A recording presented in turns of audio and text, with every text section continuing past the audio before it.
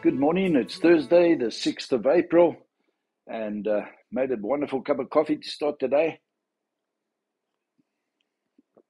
If you have your Bibles, 1 Chronicles 29, I'm going to read from verse 10 through 12. 1 Kronieke 29 vanaf vers 10.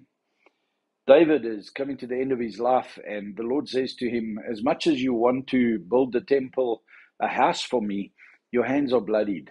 Uh, you've committed sins and killed people to cover up sins, and you've done some stuff. I'm not going to allow you to build, but you can you can prepare everything. You can get everything that's needed for your son Solomon to build the temple with. And David amasses, gets all this stuff, and the people give generously and willingly to to the house of God. And then so David blessed the Lord in the sight of all the assembly, and David said, Blessed are you, O Lord God of Israel, our Father forever and ever. Yours, O Lord, is the greatness and the power and the glory and the victory and the majesty. Indeed, everything that is in the heavens and the earth. Yours is the dominion, O Lord, and you exalt yourself as head over all. Both riches and honor come from you, and you rule over all, and in your hand is power and might, and it lies in your hand to make great and to strengthen everyone. Now, therefore, our God, we thank you and praise your glorious name. David lives a life, and at the end of his life, he gives this awesome, awesome prayer of praise to God. And he was preparing in his mind's eye for the establishment of a temple where priests would annually come and have to offer sacrifices for forgiveness of sins, and people would come and they would worship God in the temple.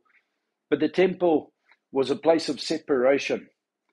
Uh, Gentiles couldn't get into into the inner courts. There was the court of the Gentiles. Then uh, then there was the court to the people. But if you were a woman, then you only got as far as that. Then there was the court that the men could go into. Then there was the court that the priests went into. Then there was the Holy of Holies where one priest once a year could get into.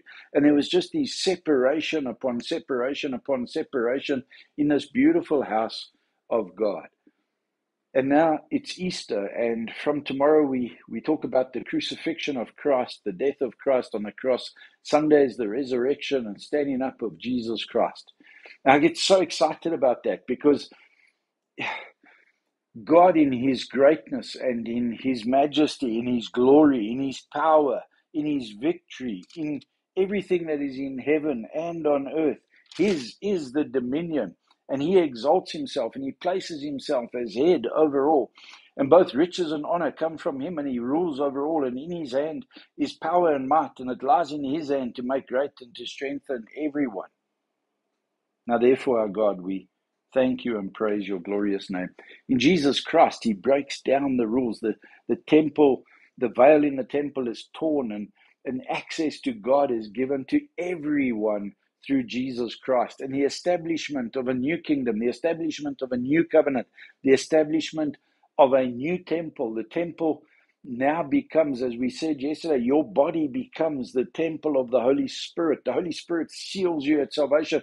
God takes up residence in your heart. There's no separation. There's no outer court. There's no inner court. There's no holy of holies. It's it's just an amazing concept or thought, and God makes himself available through his son's death once and for all. There's not an annual sacrifice that has to be done. And so Easter for me is is such an amazing time because it reveals the Father heart of God. It reveals the greatness and the glory and the planning and the power of our God. 'n ongelooflike tyd. Ek het uh, iemand gesê, weet jy, pas die Paasnaweek soveel meer as Kersfees. Die Paasnaweek is waar my my hart klop net so bietjie vinnige klop. Um ek raak opgewonde. Dis vir my die die tyd van die Christenjaar. Dis die tyd van my Christen geloof. Um en ek raak so opgewonde oor wat wat God in en deur sy kerk gaan doen oor die Paastyd. So Ek weet daar's dienste reg uh, beskikbaar reg rondom die land, verskeie uh, tye en plekke waar mense by die Here kan uitkom in die teenwoordigheid van gelowiges. Doen jouself 'n guns, doen jou geloof 'n guns en kom by daai vergaderings uit. Kom en vier saam met lees net hierdie uh, gebed van Dawid weer. Gaan lees hom regdeur en en hoor alles wat hy daar sê. Lees die die begin van die hoofstuk om te hoor hoe die mense so vrygewig vir die Here se huis gegee.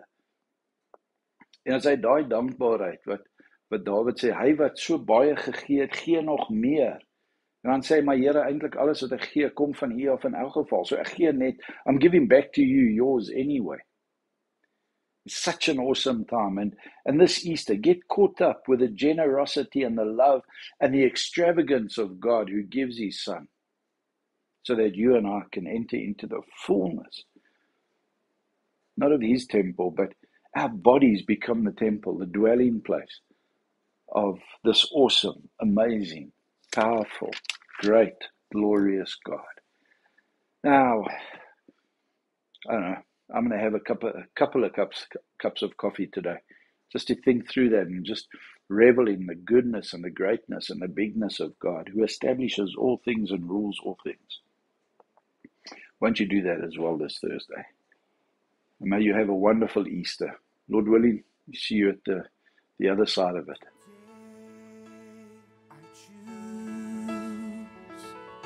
To fall.